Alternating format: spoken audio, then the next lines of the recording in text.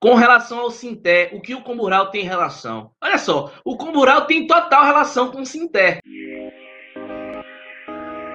O Sinté é uma proposta de um sistema integrador de cadastros territoriais, em que o Sinté ele vislumbra fazer ali a interoperabilidade entre os sistemas cadastrais do Brasil. Então, o Sinté ele não é um sistema cadastral, ele é apenas um sistema integrador. Ou seja, o Sinté ele não realiza o gerenciamento do sistema. Ele, ele apenas é um projeto para integrar esses sistemas, já que os sistemas cadastrais do Brasil não conversam entre si. Então, isso é um grande problema da burocracia do governo brasileiro, da administração pública no Brasil, porque o que está cadastrado dentro do, por exemplo, na Receita Federal, não necessariamente conversa com o que está cadastrado lá no IBAMA tem uma certa dificuldade de fazer uma integração entre sistemas, esses sistemas.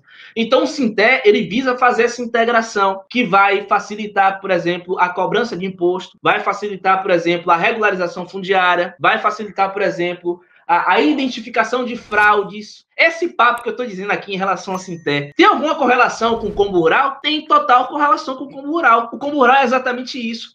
Só que a diferença do combo rural é que a gente não esperou o governo resolver um problema que é nosso, tá? Isso que é o combo rural. O combo rural é uma proposta de pessoas que querem realmente causar um impacto positivo para a sociedade brasileira. Então, o, o combo rural é uma comunidade, é um grupo de pessoas que passaram à frente, não está esperando a administração pública no Brasil. O projeto de, do Sinté é ótimo, é maravilhoso. Só que nós somos um grupo de pessoas que não estamos esperando o governo resolver o problema que é nosso. A gente não espera a legislação, a gente não espera o governo, a gente acredita que o papel do empreendedor é resolver os problemas, é fazer o melhor que ele pode com o que ele tem. E o que a gente pode aqui é resolver na base essa questão aí dos problemas cadastrais no Brasil. Aí eu te faço uma pergunta: imagine se todos os profissionais de regularização fundiária rural no Brasil trabalhassem da forma do combo rural, você acha que a gente teria um sistema mais organizado ou mais desorganizado? Você acha que seria isso seria bom para os cartórios ou pior para os cartórios? Porque qual, qual que é o problema do cadastro rural? Um dos problemas do cadastro rural é que o proprietário de imóvel rural ele não sabe nada de regularização fundiária rural. E aí o que, é que acontece?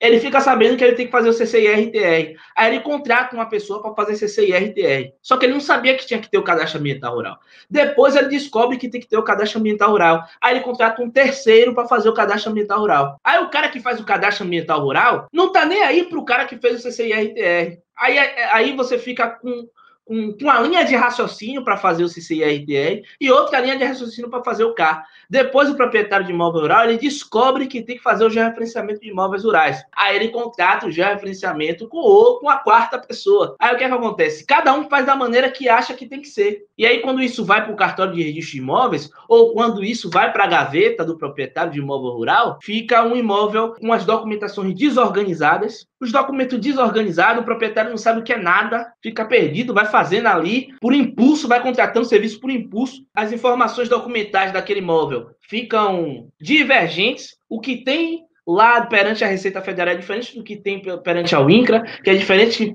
do que está perante a IBAMA, que é diferente do que está na Receita Federal, cada uma, uma coisa, e fica desatualizado. Quem tem um pouquinho de noção em relação a isso, é uma teoria de ajustamento de observações geodésicas. Você faz a medição do imóvel, a medição nunca vai dar igual, principalmente se você fizer aí com, por métodos precisos, por métodos exigidos aí pelos padrões da terceira norma de georreferenciamento de imóveis rurais do INCRA. Então, quando essa propriedade vai, vai para georreferenciamento e certificação, automaticamente tudo que já foi registrado, tudo que já foi cadastrado, fica desatualizado. Se houvesse um profissional que já na base resolve esse problema, fazendo tudo de vez, o proprietário de imóvel rural ele não precisa contratar um monte de gente para regularizar a propriedade dele, contratar, contrata uma pessoa só e ser organizado na base. Quando chega no cartório, vai na manteiga. Quando vai para o INCRA, fica tranquilo. Vai para a Receita Federal, fica tudo organizado, fica tudo atualizado, fica tudo convergente. Então, a proposta do combo rural, ela tem um objetivo, na verdade, ela surge a partir do mesmo problema do Sinter. É, é óbvio que o combo rural tem outras problemáticas inclusas. Tem um marketing de diferenciação, é uma estratégia de posicionamento de mercado, é uma estratégia que faz com que você valorize o seu serviço, se valorize enquanto profissional, fuja da prostituição, consiga cobrar mais caro. Tem outras coisas embutidas dentro da estratégia do combo rural, mas tem um dos problemas que o combo rural resolve, que é a mesma dor que o Sinté resolve, beleza? O sistema do Sinté, ele vai fazer integração entre 100% dos imóveis no Brasil, sejam rurais ou urbanos, tá? Nossa proposta aqui é focada em imóveis rurais. É o combo rural, a gente faz ali a regularização fundiária rural plena, tá? O nosso foco é aí é fazer uma estratégia de mercado para atacar os imóveis rurais. Então a gente ensina a, a partir dessa proposta como você fatura mais de 15 mil reais por mês através da regularização fundiária rural.